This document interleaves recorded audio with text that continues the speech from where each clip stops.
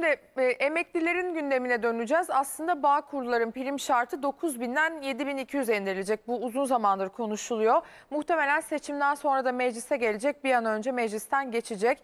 E, bağ kurlar özellikle esnaf bunu çok uzun zamandır bekliyor. Yaklaşık 1 milyon bağ kurulu bundan faydalanacak. Hemen ayrıntıları alacağız. Şartlar ne olacak? Murat Sekban bekliyor bizi. Konuğuna soracak ayrıntıları. Murat. Evet, e, bağ kurulularında gözü kulağı bu haberde e, primleri düşecek mi 9000'den 7200'e zaman içerisinde göreceğiz. Ancak e, bu gündemde görüşmeler başlayacak. Detayları da yanımda kıymetli bir e, isim var. Uzman konuğum, sosyal güvenlik uzmanı Serkan Kumdakçı. Hoş geldiniz yayınımıza. Merhabalar, iyi yayınlar. Efendim çok da merak ediliyor. Öncelikle Bağkurlu sayısından başlamak istiyorum ve bu uygulamanın da yaklaşık 1 milyon kişinin hak sahibi olacağı düşünülüyor. Kısaca bize detayları anlatır mısınız? Bu prim şartı ne demek? Ne kadara düşecek? Hangi alanlarda faydalanmalar olacak? Söz sizde buyurun. Şu an hali hazırda 3 milyon civarında Bağkur sigortalımız var. Ee, Bağkur sigortalarla SGK e, sigortalar arasında yani işçi ile işveren arasında ciddi anlamda bir makas vardı. Yıllardır zaten tartışılan bir konu. Çünkü Bağkur sigortalısı 9000 günde emekli oluyor. SGK'ya tabi çalışan olarak emekli olanlar da 7200 günde emekli oluyor. Arada bir 1800 gün, gün gibi bir makas var. E, yapılacak çalışma bu aradaki makası kaldırılması hem e, Bağkur sigortalıların hem de çalışanların yani işçi ve işveren arasındaki farklılığın ortadan kaldırılarak 7200 güne ikisini denkleştirilmesini amaçlıyor. Aslında Bağkurlar için de bir EYT sistemine geçiş e, gibi bir şey de yorumlanabilir. Bu düzenlemeden faydalanacak olan takribi olarak 1 milyon esnafımız var. Çünkü düzenleme bütün Bağkur sigortalılarını kapsamıyor. Küçük esnaf olarak tabir edebileceğimiz işte berber, kuaför, terzi gibi küçük esnafların sistemden faydalanması bekleniyor. Ama e, geçen sene yapılan yasal düzenlemelerde e, SGK'lı olarak yanında işçi çalıştıran ve 10 kişiden az çalışan işletmelerin de kapsam alınması gündemdeydi. Yani aslında e, kanun tasarısı yasalaşınca göreceğiz tabii bunu. Şu anda söylemek için erken ama 10 kişiden az çalışan tüm işletmeleri de kapsayacağı bir düzenleme yapılabilir. Daha geniş kapsamlı bir düzenleme yapılabilir. Küçük esnafı hedefleniyor. Şu an dediğim gibi 1 milyon Bağkurlu'nun bu sistem içerisinde 9 bin günü beklemeden 7200 gün sigortalılık şartıyla emekli olması hedefleniyor. Biliyorsunuz aslında Bağkur'da basamak sistemi vardı bizim daha önceki kanunda. Bu yapılan SGK reformuyla 1 Ekim 2008'den itibaren basamak sistemi de kaldırıldı. 2008'den sonra Bağkurlular kendi gelir beyanlarına göre prim yatırarak emekli maaşlarını e, belirliyorlardı. İşte bu basamak sistemine kalkmasıyla beraber hem emekli maaşlarına ödenen primlerin yansıması hem de sürenin uzaması Bağkurlar'da ciddi bir mağduriyet konusuydu. Sayın Bakanımızın açıklamasıyla beraber aslında müjdelendi. Bu sistem e, bir e, yola girecek. 7200 günde eşitlenecek gibi görünüyor. Ee, şimdi e, meslek kesimleri e, bu teklif netleşince e, siz de belirttiniz netleşecek. E, Buna da bu, bu konuda yeni bir detay olur mu? Hani 10 kişiden az çalıştıran kişileri de kapsayacak, e, kapsayabilir dediniz. Bu konuda sizin bir görüşünüz var mı hocam?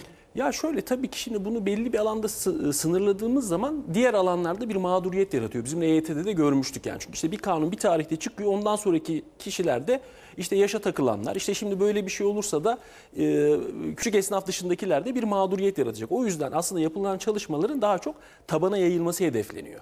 Yani bütün işte bağkurlar yararlanamaz ama işte belli bir kesimin, daha geniş bir kesimin yayılması ile ilgili sadece küçük küçük esnaf değil de geçen seneki yapılan düzenlemeye atıfla 10 kişi çalıştıran ya da 10 kişiden daha az çalıştıran işletmelerin de kapsama girmesi kamuoyu tarafından şu an beklenti halinde ama tabii bunu netleştirebilmemiz için yasanın tamamen yasalaşması gerekiyor. Burada 1999 yılında çıkan yasadan sonra emeklilikte yaşa takılanlarla ilgili uygulama vardı. Mesela Bağkurların durumu ne olacak? 8 Eylül 1999'dan önce giren Bağkurlar eğer bu yasa yasalaşırsa 7200 gün şartını tamamladıklarında emekli olabilecekler. Burası önemli. Bunu bir Evet. tekrarlar mısınız? Ee, emeklilik kısmına gelelim. Bir sonraki görsele geçelim. Ee, Eyüp'ten rica edeceğim. Burada siz de ifade ettiniz. Evet Bu- 7000 8 Eylül 99 önce sigorta olan bağ kurullar 7200 günü tamamladıkları takdirde eğer bu kanun yasalaşırsa EYT'liler gibi yaşı beklemeden emekli olabilecekler. Daha sonra sigortalı olanlar için yine 60 yaş ve 58 yaş şartı hem kadınlarda 58 erkeklerde 60 Orada yaş. yaş faktörü Evet devreye orada evet, girecek. 99'dan sonra olursa yaş fa- faktörü devreye girecek. Erkeklerde 60 yaş, kadınlarda da 58 yaş sağlandığı takdirde 7200 gün şartı sağlanınca emekli olacak. Yani aslında burada Bağkurlar için bir 1800 gün yani takribi olarak 5 yıl bir ciddi anlamda bir erken emeklilik hakkı doğacak. Yani bu Çalışma ve Sosyal Güvenlik Bakanlığı'nın ciddi bir çalışması ve 1 milyon kişiyi de ilgilendiren bir durum olacak. Ee, bu yıl içerisinde yasalıp yasa- yasalaşmadığını göreceğiz. Şimdi burada tabii ki grafiğimizde de var. Şu anda hali hazırda 2008 yılında sosyal güvenlik reformuyla 5510 sayılı yasanın yürürlüğe girmesiyle beraber kişinin hangi kurumdan emekli olacağını belirleyen bir düzenleme yapılmıştı. 7 yıl şartı var. 7 yılın içerisinde son 3,5 yıl artı bir gün hangi kurumdaysanız o kurumdan emekli oluyorsunuz. E şimdi hali hazırda şu anda son 7 yıl içerisinde 3,5 yıl artı bir gün bağ kurulu olanlar şu anda 9 bin günü bekliyorlar. Ama eğer bu yasa yasalaşırsa 7200 gün içerisinde onların da emeklilik hakkı doğacak. Aynı şekilde 7 yıl içerisinde 3,5 altı artı bir gün Sosyal Sigortalar Kurumu'na geçmiş olanlar varsa zaten emeklilikte yaşa takılanlar düzenlemesinden bunlar faydalanmıştı. Emekli olmaları sağlanmıştı ya da günlerin tamamlanmasını bekliyordu. Şunu da antiparantez söyleyeyim 2024 yılı içerisinde 400 bin civarında da EYT'nin emekli olması hedefleniyor şu anda. Sisteme girmiş ve EYT'den emekli olmasını bekleyen SGK'lı çalışanlarımız var yani e, çalışan olaraklar. Bağkur dışında da düzenlememiz bu şekilde 3,5 yıl artı bir gün kuralı da yine burada uygulanacak ve kişinin hangi kurumdan emekli olacağı da sistem içerisinde belli olacak diyebiliriz. Peki bu sisteme baktığımız zaman şimdi grafiklerimiz dışında da önemli detaylar var. Emeklilik sürecinden bahsettik. Hangi meslek gruplarını kapsayacak onlardan bahsettik. Hedeflenen kitleden bahsettik. Elbette her şeyin sonucu o teklifin netleşmesiyle düzenlenecek. Ama e, bu uygulamanın 1800 günden bahsediyoruz. 9000'den 7200'e gelmesi. E, bağ kurulları sağlayacağı 1800 günlük bir erken emeklilik avantajı var. Bunun dışında sosyal anlamda ve diğer alanlarda da sağlayacağı avantajlar var mıdır? Şimdi tabii düzenleme geçen seneki yapılan düzenlemeye göz attığımızda mesela bağ kurulları için kısmi emeklilik düzenlemesi yoktu. SGK'lar için sağlanan kısmi emeklilik düzenlemesi Bağkur'a tanınmamıştı. SGK'lılar 4500 gün prim yatırdıkları zaman kısmi emeklilik haklarından da faydalanabiliyorlar. Yani bir tık daha erken emekli olabiliyorlar. E, emeklilik haklarının bir kısmına feragat ederek. Mesela yasal düzenlemeye baktığımızda geçen seneki düzenlemede bağ kurulları için 5400 gün prim ödeyenler yaş şartlarını sağladıklarında kısmi emekliliği için müracaat edebilecek hale geliyorlardı. E, yani sonuçta e, işin özüne baktığımızda şu 1800 gün az bir e, gün değil. 5 yıl gibi bir sürede erken emeklilik hakkı tanıyor insanlara. 1 milyon bağ kurulumuz eğer ki yasa e, yürürlüğe girdiği takdirde 5 yıl öncesinden emeklilik müracaatlarını yaparak erkeklerde e, 60, kadınlarda 58 yaş şartını sağladıklarında emeklilik müracaatlarını yapabilecekler. 2000 öncesi bağ kurlarımız bu yaş şartını bekleme durumları da olmayacak. Er, EYT, emeklilikte yaşa takılanlar gibi yaş şartı olmadan 7200 gün şartını sağladıklarında müracaat edebilecekler. Aslında dediğimiz gibi toplumun bütün bir kısmını ilgilendiren çünkü hani EYT de e, işte gündeme geldiğinde çok ciddi anlamda bir kamuoyu yaratmıştı. İşte yapılır yapılamaz derken bir anda yasal düzenleme geldi ve insanları ciddi anlamda mutlu etti ve rahatlattı. Şu anda bağ kurlarının gözü kulağı bu düzenlemede diyebiliriz. Yasalaştığı zaman hep beraber göreceğiz. O zaman tekrar şartları konuşabiliriz. Hocam e, kapatmadan önce e, EYT demişken hem SSK hem Bağkurlar diyoruz. Buradaki ayrımı bilmeyen izleyicilerimiz için de kısaca bize aktarır mısınız? Yani e, bu detay nedir bizim için?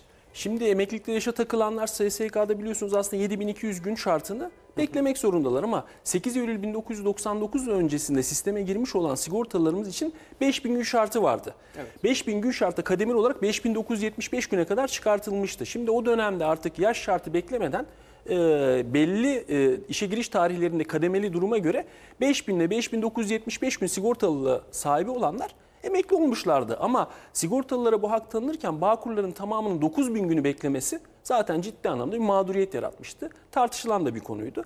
EYT'nin çıkmasıyla beraber yaklaşık 2,5 milyon kişi sisteme girdi ve emekli oldu. Yaş şartını beklemeden 5000 günle 5975 gün arası primlerini ödeyerek emekli olmuşlardı.